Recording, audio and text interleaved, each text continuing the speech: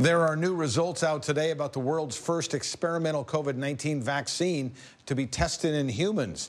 It's developed by the biotech company Moderna. The clinical trial was launched in Seattle back in March with help from Kaiser Permanente's Washington Health Research Institute. KOMO's Suzanne Phan tells us about some promising results. This is very exciting. Everyone should be encouraged. Researchers say it's a big step in the right direction. The experimental COVID 19 vaccine by Moderna produced antibodies in all patients tested in an initial safety trial, according to new data published in the New England Journal of Medicine today. There are no serious safety concerns, and individuals do mount, uh, do produce antibodies that are capable of neutralizing the virus. Researchers say that's important for building immunity, and it's a sign that the vaccine may provide some protection against COVID 19. During phase one of the world's first COVID 19 vaccine trial launched at Kaiser Permanente Washington Research, 45 young and healthy volunteers were injected with two doses of the experimental vaccine a month apart. Last week, KOMO News talked to the first two volunteers in the world to get the vaccine Jennifer Haller, a tech startup operations manager, and Neil Browning, a Microsoft network engineer. They both got low doses and had few symptoms. I feel fine, completely normal. I had no side effects whatsoever the entire time. Today, we heard from Ian Haydon, who works at University of Washington and does science communications. He's a phase one vaccine volunteer who received a high dose injection of Moderna's vaccine. After the second injection, though, for about 24 hours, I developed, I guess, flu like symptoms uh, fever, headache, nausea. That only lasted about a day. Moderna says the levels of neutralizing antibodies in patients in the high dose group were four times higher than those COVID 19 patients who have recovered. Yeah, I'm doing well, and I think these are these are exciting results. Um, but importantly, there are more vaccine phases left to do, and so if people in the Seattle area and beyond want to help out, they too should enroll in one of these clinical trials. In Seattle, Suzanne Phan, KOMO News. The shooting in Bothell was one of three shootings within a six hour window. A total of seven people were hurt in separate shootings in Renton and also Kent. KOMO's Jonathan Cho is live in Kent. Jonathan, that's a lot of violent crime in one short span of time, isn't it? Eric, it certainly is. And even though police say none of the shootings are related, some veteran law enforcement officers, along with community leaders, are still trying to make sense of what happened and are hoping this doesn't become a trend.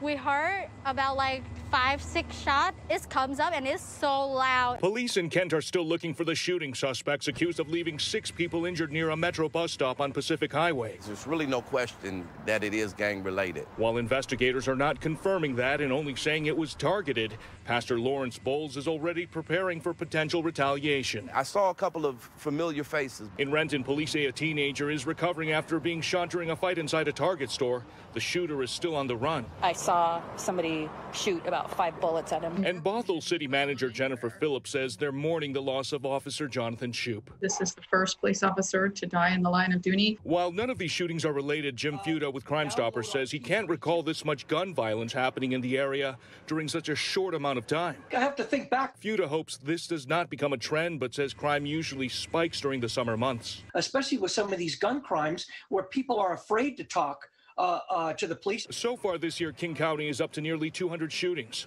Most of that firearm violence comes from eight jurisdictions, including Seattle, Kent, and Renton. And in many cases, there are still no arrests. It's Pacific Highway. Pastor Bull says his church needs to get back to outreach prevention before another shooting happens again. We can still go out into the communities and connect with these young people and let them know that we still care. Look at the growing memorial for Bothell police officer Jonathan Shoop, who was shot and killed in the line of duty. Flowers and balloons, cards surrounding this police SUV outside Bothell City Hall tonight. And tonight, the community gathering for a vigil to remember Officer Shoop, who was killed around this time last night during a traffic stop. Another officer survived. We are learning more about the man who died serving his community. KOMO's Joel Moreno joins us with the loss that has left this city aching. Joel? Uh, this is really something to behold, Molly and Preston. And just as all the balloons and uh, other tributes out here encircle this patrol car, so too has the community wrapped itself around this man and this department. And amid all the grief are some frightening new details about how Officer Shoop was killed.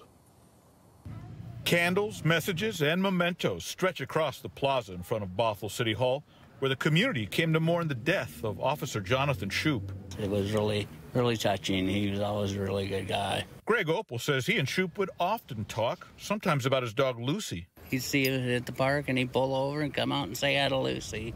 Just loved the dog and and we just chat. People filled the plaza throughout the day and parents brought their children as they paid their respects.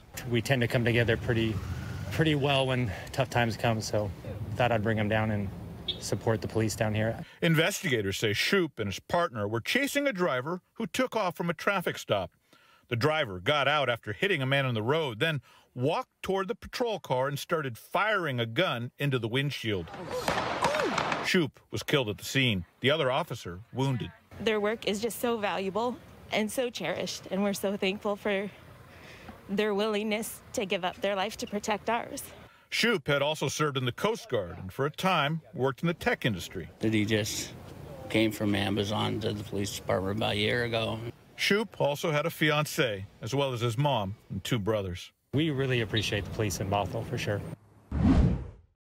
Local psychologists are tracking a spike in mental health disorders in children, and they say it's due to the stresses of living in this era of COVID 19. One expert tells us many of these kids are experiencing anxiety and depression for the first time. KOMO's Abby Acone breaks down this disturbing new trend for us. Abby?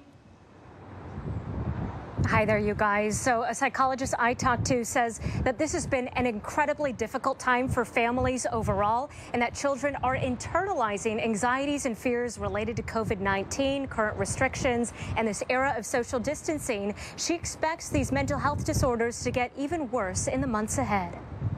Yeah, it's been a challenge for sure. It's been a challenge. Alicia Galvez is concerned for her children's mental health, with coronavirus completely disrupting their everyday life and normal routines. It's definitely a thing that we've talked about. One of the ways that we've tried to mitigate that is that um, we've incorporated some yoga into our life. Some of her kids tell me it's been hard isolating from friends. I barely get to see them because it's summer and COVID. Erica Las Marias has four kids and understands that children are also impacted by their parents' anxieties. Parents, if they're feeling stressed, then kids can pick up on it, and so that anxiety can start to increase. Local psychologist Dr. Haley Quinn says a lack of structure and social interaction is contributing to mental disorders among children, and in younger kids, this manifests in tantrums and becoming aggressive. So younger kids are going to have more of those acting out behaviors, whereas older kids are able to verbalize feeling worried or upset. Dr. Quinn says anxiety and depression may even increase for the upcoming school year. The longer it goes on, the more severe the impacts of long term outcomes. Dr. Quinn recommends creating structure at home, spending quality time with your children, and trying to find ways to invest in activities they're passionate about, even if it means doing YouTube tutorials of a new hobby. I'm working with parents on trying to figure out what is a skill or interest your kid has that you can do in your own home or in your neighborhood.